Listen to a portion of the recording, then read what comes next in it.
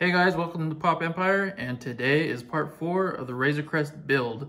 Uh, if you'd like to be notified of any future videos, uh, please hit that subscribe button below, and uh, let's get to it. All right, so in today's video, I thought I'd go over with you guys some of the items that I specifically built for the Razor Crest. So these are items that were all just handmade, and uh, let me show you uh, what I have. So first, I'd like to talk about these two pieces. I made them specifically for the cockpit.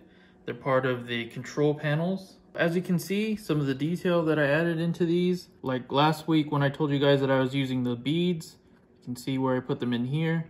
There's also these two pieces up top here, which I took the ends of toothpicks, painted them black, pushed them up from the bottom, and you have that little bit of detail. Also with this, I took little wooden dowels that you can pick up at any craft store painted them silver, added a little bit of tape on the ends of them, and glued them on top.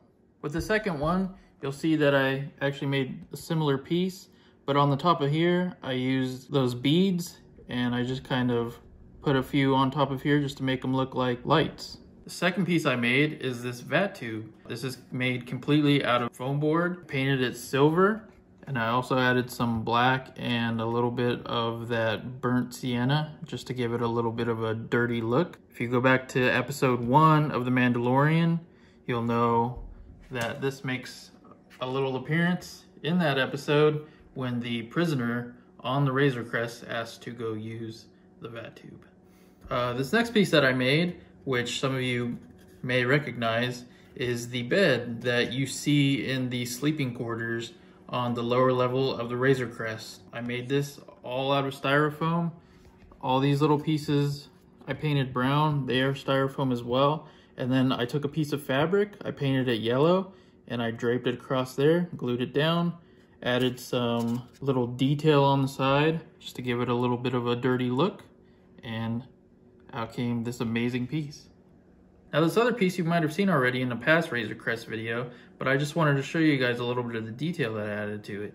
This is also made completely out of foam board. The only parts that aren't would be these tubes, which I made out of material that you would get at a craft shop to make bracelets.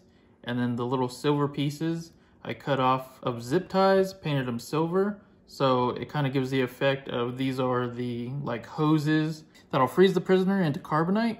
And again, using those little beads gives it the effect of buttons. Now in these past videos, I've talked about a lot of what's going on with the build and everything, but I still haven't shown you guys exactly what's going on in the cockpit and show you guys some of the details that are going on in there. I wanted to show you guys the seat that uh, the Mandalorian would sit in. I added some, uh, which this is all made out of foam board. Even the red pieces are foam with red fabric that I glued on top of those. And same with each seat in the back. Also with the seats in the back, I added the white uh, detail that goes along the headrest.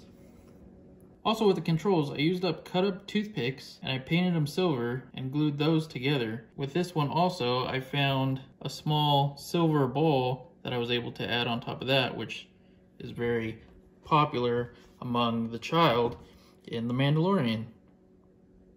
And just like the tubing here that I showed you guys earlier in the freezing chamber, I also used the tubing in the cockpit. I Also wanted you guys to see the ladder that I made, which is also made out of foam.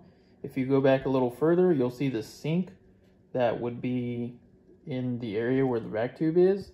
There's a vacuum on the wall, on the back wall, and then just different tubes that I thought uh, just kind of looked cool uh, hanging from the walls. I also wanted you guys to see the sleeping quarters with the detailed bed in there, the netting on the wall, and of course this is where the Mandalorian hid Baby Yoda. All right, that's gonna do it for part four of the custom Razor Crest build from the Mandalorian. And yeah, it's coming along pretty nice. Be sure to come back next week for part five. Yeah, not sure exactly what it's going to be yet, but definitely it's going to be more Razor Crest build, maybe some more structural builds, maybe some more details. We shall see, but part five will be next Wednesday.